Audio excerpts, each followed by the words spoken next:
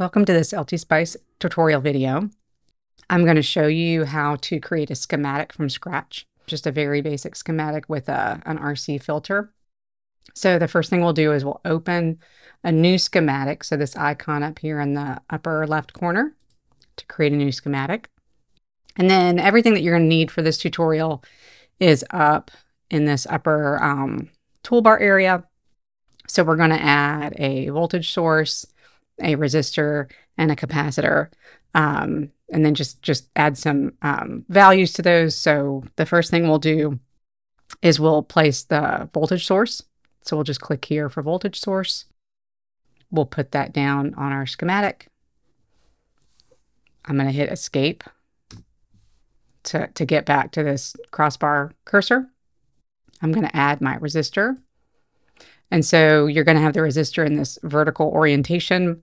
I'm going to rotate it. Um, one way you can rotate it is Control R, which to me is the simplest. But if you also want to use the toolbar up here, you can use this rotate icon, click on that, and that will rotate it. So here we can add it. Escape.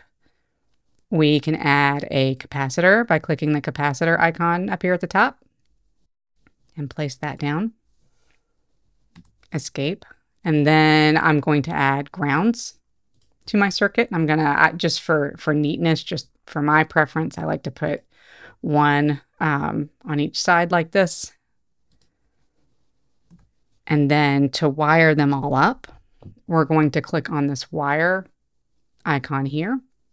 And the nice thing about using the, the wire tool, so you see now we've got this um, cross that, that goes across the entire screen here. And I like the wiring um, in LTspice because you can just go right through the components. So I will just go right through that voltage source. I will click here, and then I will go right through the resistor, click here, go right through the capacitor, and finish it up at the ground and now everything's connected and it was smart enough to know um, how to connect everything up. I'm going to hit escape and now I'm back at the this little cross. And so um, something I like to do, which will make things easier as you start to simulate, is I like to label the nets that are important to me. Um, you know, when I go to to view the waveforms and probes. So just something to do um, while I'm thinking of it is I'm going to label these nets. So I'm going to call this one the input and this over here the output. So I'm just going to say in and put that over here. And then I'm going to call this one out.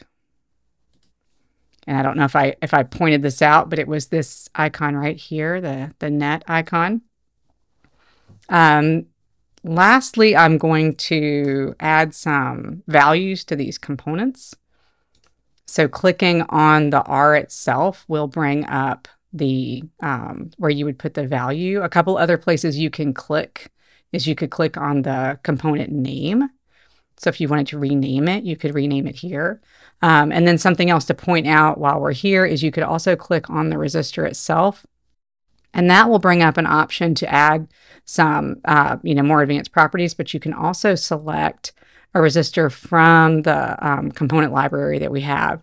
And so that will allow you to, to um, pick some um, components that are that are sort of pre-modeled for you. Uh, you'll see it with the capacitor as well, and you'll even see um, you know, manufacturer models for some of these components. And so that's just another option. I'm just going to stick with sort of an ideal um, resistor here. I'm going to put 10K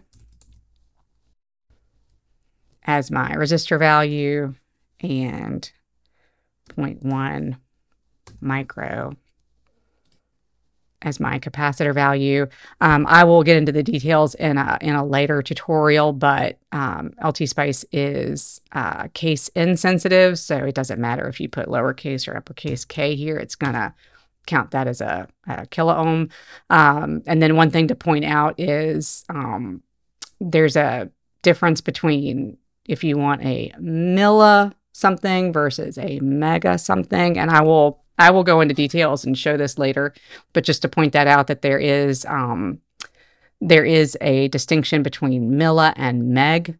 that is very easy to get confused. So check back on the next tutorial for details on that.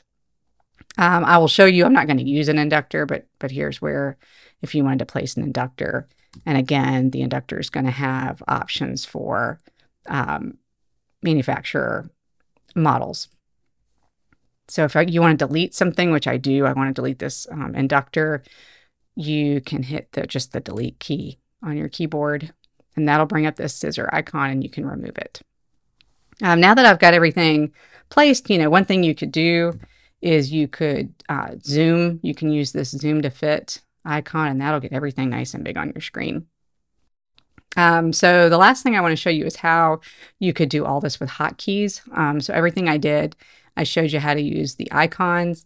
Um, all of these icons are also buried in the um, the edit uh, drop down menu as well. But I'm just going to delete this whole thing and quickly demonstrate. So I'm going to bring up the scissors icon by hitting the delete key, and then I'm just going to drag over this whole thing and delete it. And I do just want to point out the hotkeys um, that you can use to create this as well. So um, I'm just going to type V for voltage, and that's going to bring up the voltage source. So I'm going to place that. And then I'm going to type R for resistor. And I'm going to do Control R to rotate it. I'm going to type C for capacitor. I'm going to type G for ground. And then the ground is still there, so I'm just going to keep it. Click again. Let's see, W for wire. And then if you forget, if you've forgotten what the hotkeys are, which I'm going to double check the net one, you can always just hover on the icon up here. So net, you would type in, it's showing you there. So I'll label my in. And I will in label my out.